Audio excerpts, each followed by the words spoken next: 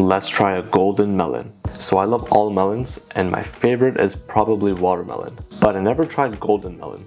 It smells like a really strong cantaloupe. It'll be wild if this actually tastes like a watermelon. I don't think it will. I'm gonna try eating the skin. I don't think it's edible, but let's see. No. Or is it? It's a cantaloupe. There's no difference. And for once, I think I found a fruit that's actually ripe because this actually tastes sweet. But the texture is harder. Cantaloupes I find are really soft like there's not really much of a bite. This has a bite, unless maybe this is actually unripe and it's supposed to be soft. But taste wise, it does taste like a ripe cantaloupe, but it's a bit crunchy. And unlike cantaloupes, you can actually eat the skin. Well, it's edible. I'm not sure if you're supposed to, but I didn't mind it. So yeah, golden melon. It's basically a cantaloupe.